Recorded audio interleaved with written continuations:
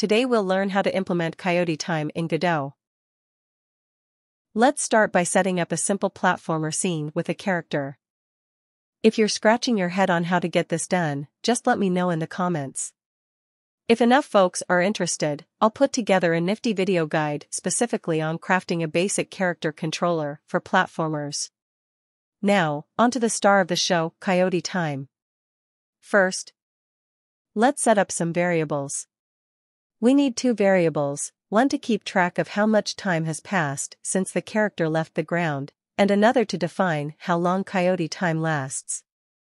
In the physics process function, we need to check if the character is on the floor. If they're not, we'll increment the timer. Now, for the magic part.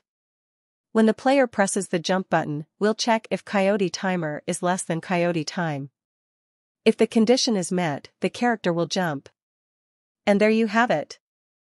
The character can now jump for a short period after leaving a platform. You might have noticed that your character can jump as many times as they want during coyote time.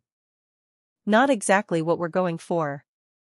This happens because we don't have anything in our code that prevents the character from jumping more than once while they are in coyote time.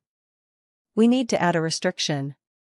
To fix this issue, we'll add a boolean variable called has jumped to track whether the character has already jumped during coyote time. Now, let's update our jumping logic. We'll only allow the character to jump if they haven't jumped yet. When the character jumps, we'll set his jump to true. Finally, we need to reset the has jumped variable when the character is back on the floor, so they can jump again the next time they are in coyote time. And there we have it. Now your character can only jump once during coyote time, which makes the mechanic work as intended. As a bonus, let's quickly go over how you can implement a double jump along with coyote time. To keep track of whether the player has already performed a double jump, we introduce a new variable called has double jumped initially set to false. We need to modify the jumping logic in the physics process function. This line ensures that if the player is within the coyote time window and hasn't already jumped, they can perform the initial jump. Next, we have an else if clause that checks if the double jump has not been performed yet. If the player has already made the initial jump and hasn't double jumped, this condition will be true. Inside this block, we set the vertical velocity to jump force again. You may choose to adjust the value here if you want the double jump to have a different height compared to the initial jump.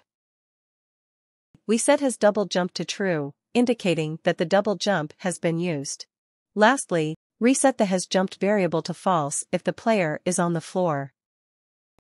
This setup ensures that the player can perform a double jump after the initial jump whether they are within the coyote time window or not. And that's it for implementing double jump along with coyote time. This combination allows for more flexible and responsive character control in platformer games. To recap, we've learned how to implement coyote time in Godot, how to add a double jump mechanic, and how to fix the infinite jumping issue during coyote time. Experiment with these mechanics to make your platformer feel smooth and responsive. That's it for today's tutorial. If you have any questions or want to see more content like this, let me know in the comments below. Don't forget to like, share, and subscribe. Thanks for watching. And happy game developing!